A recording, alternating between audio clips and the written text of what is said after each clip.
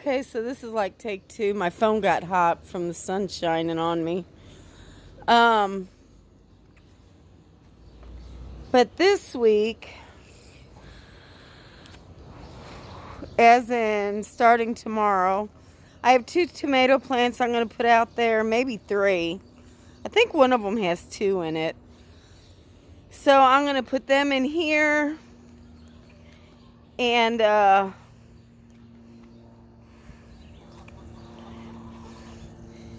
get my tomatoes going. I'm also going to set up my last GreenStalk.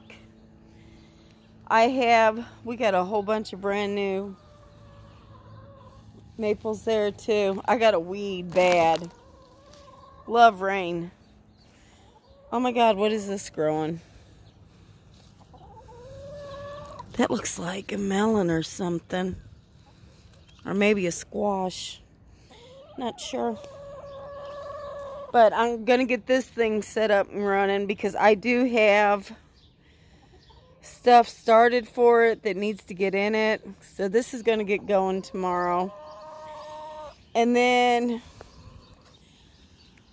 I'm going, I have, y'all, I got like a ton of cayenne peppers to get planted.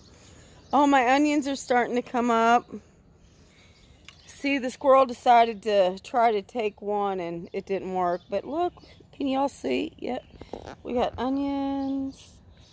Yay. Happy about that. I got a friggin' blackberry plant in there growing. Ugh.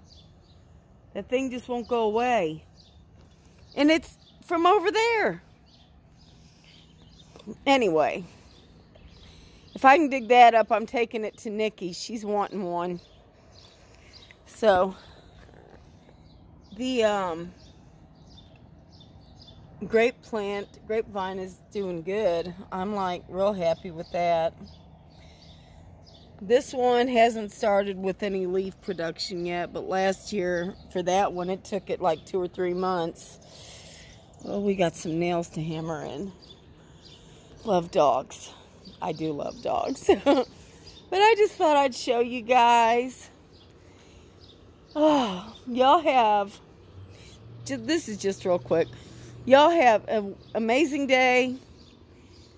If you get any sunshine, which we're supposed to get storms here in a little while, do what you can. Enjoy it with your family. Oh, and have a blessed day, y'all. See you on the next one.